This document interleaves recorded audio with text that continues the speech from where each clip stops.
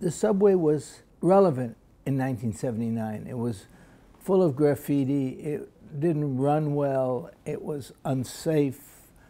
And I felt compelled to go underground.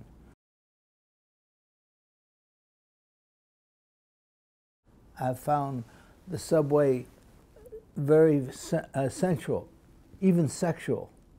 I found the color in the subway gave meaning, and that the subway could be anything. I could photograph a beast, or I could photograph a beauty.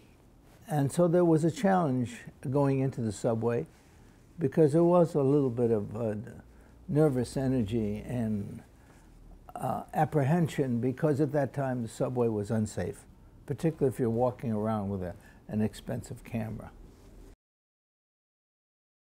New York Magazine asked me whether I would like to go with a group of subway undercover police uh, policemen who dress and act in such a way to precipitate a robbery. This perpetrator came over to take my camera, but the backup police are in the car with they look more like a thief than the thieves. Billy, I think his name was, he immediately arrested the guy that was uh, um, mugging me. So, so it's really not what it looks like, but it's what it feels like. I'm in a, a, crowded train. There was a man that interested in me because he, he wore a bowler like you'd find in England uh, 50 years ago. And I take his picture with my flash. And then I excuse myself, I'm sorry, I had to do that. It was just a beautiful moment. He said, I, I didn't see it. I'm, I'm blind. I work at the lighthouse for the blind. I, I thought that was amazing how you can mis, misrepresent and misunderstand what you're looking at.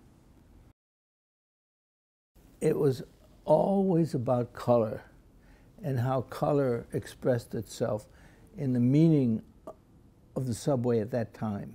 I'm basically a black and white photographer, but that can change and depending on what I'm doing. In the subway, it just called me to experiences in color. I'm using Kodachrome uh, 64. It's a slow speed film, but I chose it for its fidelity and its strength and its, and its beautiful palette. I use uh, filters, no filters, flash, no flash. Uh, there was a variety of technical ways I photographed the, uh, at that time. Subway is an aesthetic experience. I'm not there to prove anything, but to show the multiplicity and layers of life in the New York subway at that time it was a beautiful experience. It was like I was on a voyage of discovery.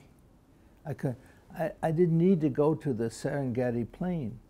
I could photograph the animals right there in front of me, and they were beautiful.